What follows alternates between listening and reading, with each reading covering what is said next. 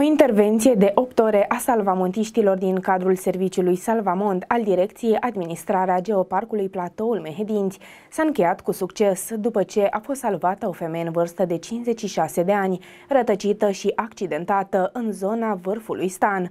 Turista din județul Gorj a fost extrasă cu ajutorul unui elicopter și transportată la spital pentru îngrijiri medicale.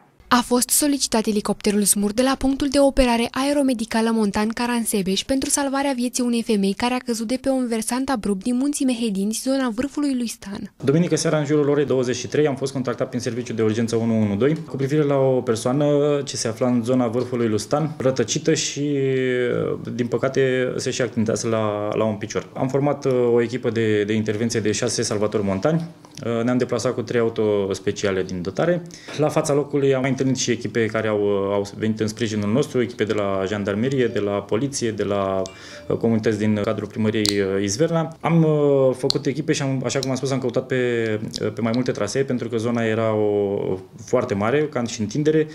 Persoana respectivă ne dădea informații foarte vagi, adică că se află lângă o pădure și stâncă. Jurul orei 8 am, am reușit să o, să o găsim. Terenul fiind foarte greu accesibil și nu puteam să o, să o extragem de acolo, am apelat la elicopterul de la Karen Sebeș ce a extras-o de acolo și a condus-o la spitalul din uh, Care Severin. În urma procedurii accidentului, femeia a suferit un politraumatism, având nevoie urgentă de asistență medicală de specialitate. Cei din cadrul Salvamont au intervenit de urgență pentru acordarea primului ajutor necesar și, având în vedere gravitatea traumatismelor suferite și locul producerii accidentului, a fost solicitat elicopterul SMUR de la Caransebeș dotat cu troliu. Persoana respectivă uh, s-a bătut de la traseul turistic marcat, dorind să scurteze drumul pentru că, a spune dumneavoastră, a văzut uh, uh șosea Steaua în partea dreaptă. Scurtând uh, traseele turistice, asta se poate întâmpla și facem un apel pe această cale către turiștii uh, ce vin în zona și nu numai în zona uh, munților Mehedinți să urmeze traseele turistice marcate pentru că dacă, Doamne ferește, se întâmplă ceva, știm de unde să-i luăm și